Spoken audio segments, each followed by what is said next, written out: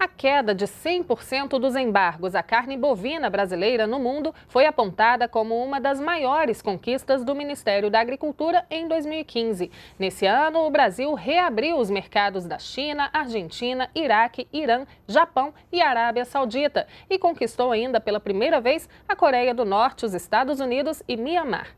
Além disso, ampliou o comércio de carne bovina com a Rússia.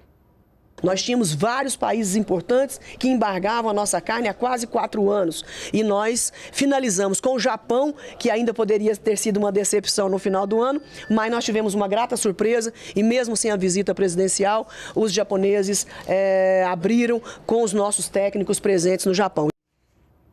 Segundo o Ministério da Agricultura, as exportações brasileiras do agronegócio têm potencial de aumentar 1 bilhão e 900 milhões de dólares ao ano, com a conquista e a reabertura de mercados em 2015.